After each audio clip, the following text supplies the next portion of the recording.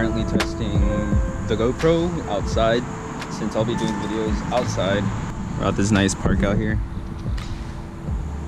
Using flat profile on the camera, on the GoPro. Hopefully it turns out real nice.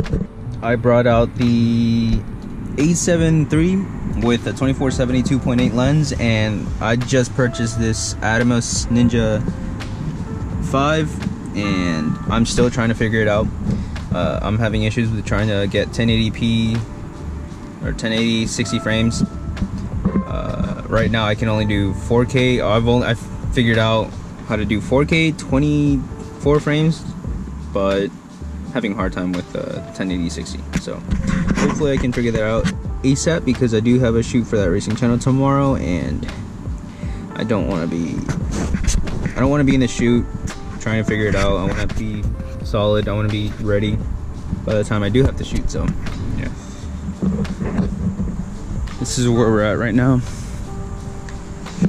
Way over there across the river is National Harbor. Just gonna test, like I said, I'm testing out the GoPro.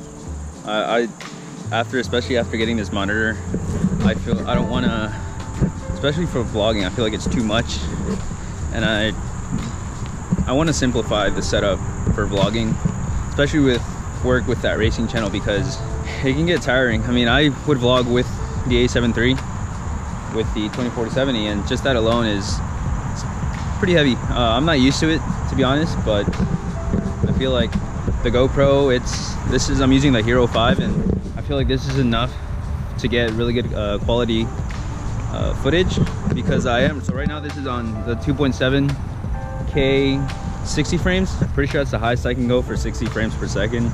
Like I said I think it's gonna turn out nice so. Yeah there's that. This is really this is a really nice spot. I've come here every now and then whether it's I want to chill out or I want to test some stuff out. Um, it's just a really quiet nice spot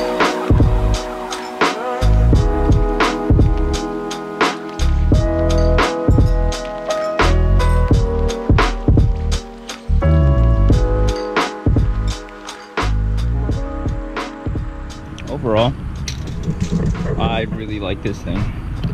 Actually let me let me get inside the car.